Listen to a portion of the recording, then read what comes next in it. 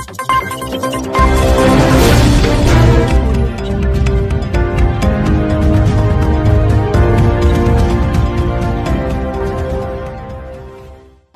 మా సంఘం తరపున ఈరోజు వైశ్యభవన్లో ముగ్గుల పోటీలు ఫైర్లెస్ వంటల పోటీలు తంబోలా గేమ్స్ ఫర్ లేడీస్ అని కండక్ట్ చేశాము. దీనికి అందరూ కూడా మన కరీంనగర్లో లేడీస్ అందరూ కూడా వచ్చి చాలా బాగా పార్టిసిపేట్ చేస్తున్నారు. ఫైర్లెస్ వంటల పోటీ అని ఒక కొత్త రకమైనదాన్ని ఈసారి మేము ఇన్వెంట్ చేశాము.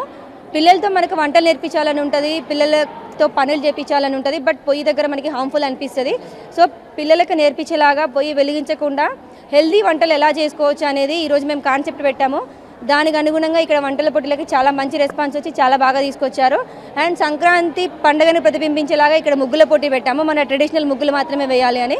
దానికి ముగ్గుల పోటీకి ముగ్గుల కంటెంటెంట్స్ కూడా చాలా ఎక్కువ సంఖ్యలో పాల్గొన్నారు. సంక్రాంతి పండుగను పురస్కరించుకొని రంగవల్లి మరియు వంటల పోటీ మరియు తంబోలా లాంటి కార్యక్రమాలు నిర్వహించడం జరిగింది.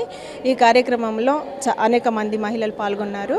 ఈ కార్యక్రమం మేము ఇలా పెడుతున్నాం అనగానే చాలామంది మాకు స్పాన్సర్ చేసిన తనిష్క వాళ్ళకి మరియు మలయాళ నరసయ్య గారికి మరియు త్రిప్లెక్స్ రమేష్ గారికి మ- మరియు మనల్ని అందరికీ మా సంస్కృతి సంప్రదాయాలను ఉద్దేశించి ఇలాంటి కార్యక్రమాలు నిర్వహించినందుకు బాగా మాకు ఇచ్చేశారు. వారందరికీ నా యొక్క ఆర్థిక శుభాకాంక్షలు.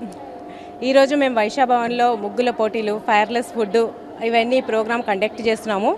దానికి ఆల్రెడీ కరీంనగర్లో చాలా అవుతూనే ఉన్నాయి ప్రతి చోట్ల.